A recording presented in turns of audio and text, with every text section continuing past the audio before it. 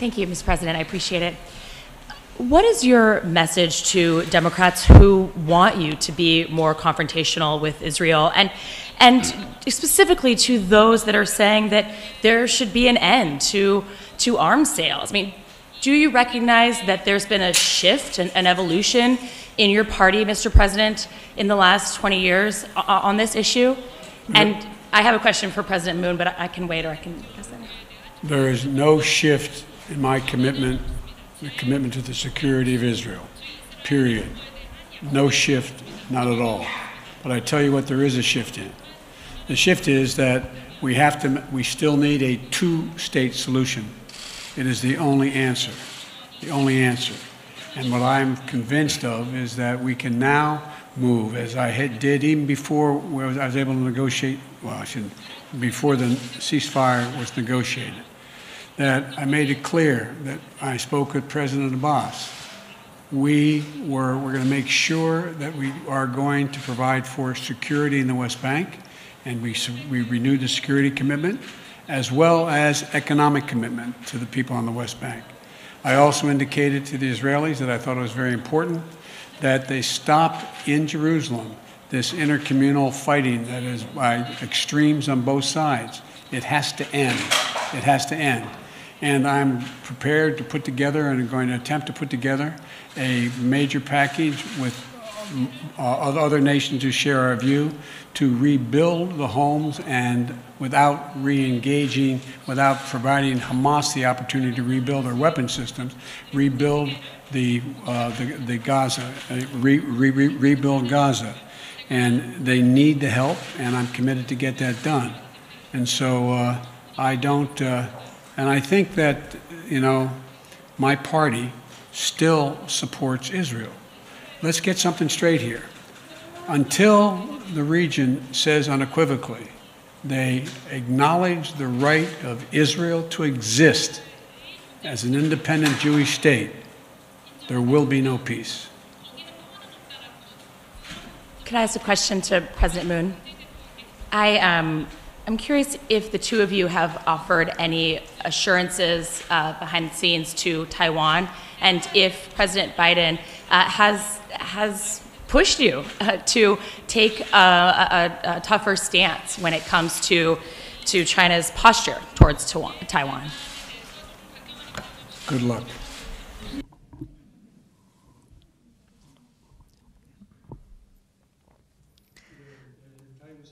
Well, fortunately, there wasn't such pressure. But um, as for peace and stability in the Taiwan Strait, we agreed uh, how important uh, that region is. Um, especially considering the special characteristics between uh, China and Taiwan, uh, we decided to work more closely on this matter going forward. You So we have a question from a Korean journalist over here. Yes, uh, two from the left.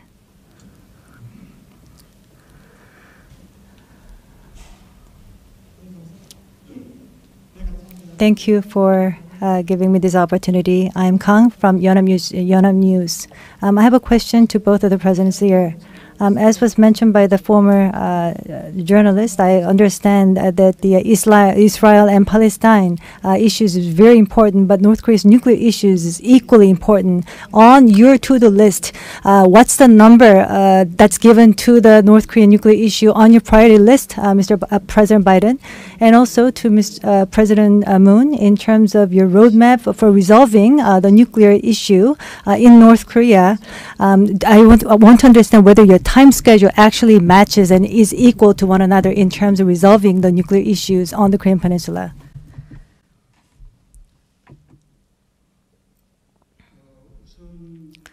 So, to begin, uh, under the new Biden administration, the DPRK uh, policy uh, review has been completed in a rather fast period of time. That means that the Biden administration uh, puts a priority on its North Korea policy among its diplomatic uh, tasks. And also, in terms of uh, reviewing its uh, DPRK policy, there was a very close coordination as well as consultations uh, between the United States and the Republic of Korea. So the principle of the negotiations uh, towards North Korea has already been announced by the U.S. government. A very calibrated, practical, gradual, step-by-step manner, and very flexible. That is the approach that the current administration is aiming to uh, adopt. So that is the common understanding that we have with the United States, and that we're going to continue to uh, work forward on this. And in terms of the timeline for the denuclearization of the Korean Peninsula, there aren't any differences in terms of how we think about this. No differences in terms of our opinions. Agree with what the President just said. Our goal is and remains complete denuclearization of the Korean Peninsula. We want to make uh, practical progress and increase uh, security in the United States for the United States and our allies. You know, we closely studied uh, what others have tried and uh, what worked and what hasn't worked. And, uh, you know, under, we're under no illusions how difficult this is, none whatsoever. And uh, the past four administrations have not achieved the objective. It's an incredibly difficult objective. As we move forward, we're going to stay uh, very close coordination with our friends and our partners in the region, including President Moon. And uh, we fully recognize that this is about uh, our collective security in the Indo-Pacific region. And so, uh, but total denuclearization is our objective and remains so.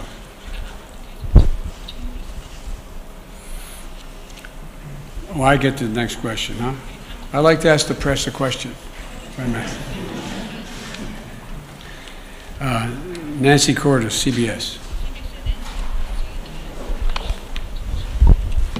Okay. Thank you very much, Mr. President. I have one question about North Korea and one question about Israel. We've changed this one question thing, haven't we? Two foreign policy questions. Uh, you have said in the past that you would not meet with Kim Jong un, the leader of North Korea, without certain preconditions. Yes. What are those preconditions, and do you believe he would ever be able to meet them? Well, what I never do is I never make a judgment what a man or woman is going to do or not do based on what they said. Um, we'll see if he made any commitment, and I would meet with him, and if there was a commitment on which we met. And the commitment has to be that there's discussion about his nuclear arsenal. And if it's merely an, a means by which, how do we de escalate what they're doing? Um, and so, if that was the case, I would not meet unless there was some outline made that my Secretary of State and others would have negotiated as to how we would proceed.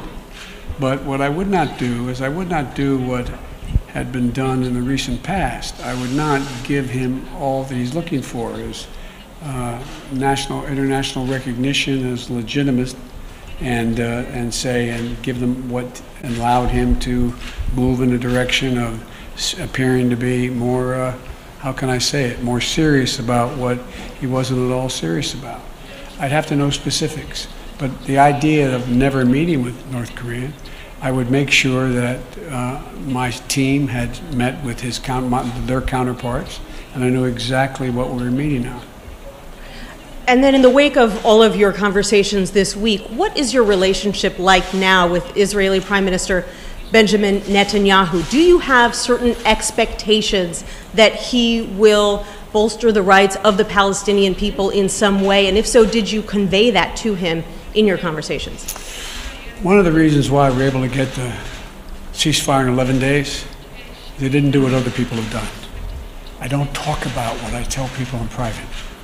I don't talk about what we negotiate in private. What I can assure you, though, is that the last times it took 56 days and then six months to get a ceasefire. I'm praying this ceasefire will hold. I take Bibi Netanyahu when he gives me his word. I take him at his word. He's never broken his word to me. And, uh, but what I've made clear is that it's essential. It's essential that the Palestinians in, on the West Bank be secured, that Abbas be recognized as the leader of the Palestinian people, which he is. Hamas is a terrorist organization. We recognize that. But that doesn't mean we should not be in Gaza, rebuilding Gaza for all those innocent people who, in fact, have been hurt and, and have been collateral damage, including loss of homes and a whole range of other things, as well as insisting that Israeli citizens, whether they be Arab or Jew, are treated equally. Uh, Israeli citizens, and that's what was going on in in, uh, um, in in Jerusalem, and so that has to come to an end. And Bibi, know, the prime minister knows my views, and uh, but the commitment that was given uh, was immediately kept. I, from the very beginning, I told him what our objective was, that there needed to be a ceasefire, and he, in fact, kept his commitment in the time frame in which he said he would do it. Thank you. And by the way, I wasn't the only one that spoke to him. We had, I looked down here, every major player in my team, from Secretary of Defense to Secretary of State, all the way down the line, and our national security advisors were in constant contact with their counterparts in Israel, in Egypt, and throughout the Middle East. This was not something that was just done with a casual conversation between myself and Bibi. I have uh, presumptuous of me to say this, but Mr. President, but I think I've got a great team. And, the, and I spent a lot of time with El Sisi on the phone and, and, in in Egypt, and they've done a commendable job of bringing Hamas to the table and getting them to agree to a ceasefire as well. Thank you. Is that it?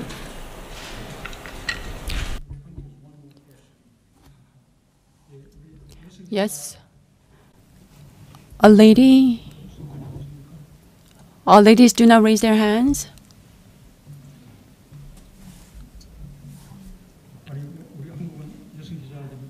Uh, do we not have female journalists from Korea?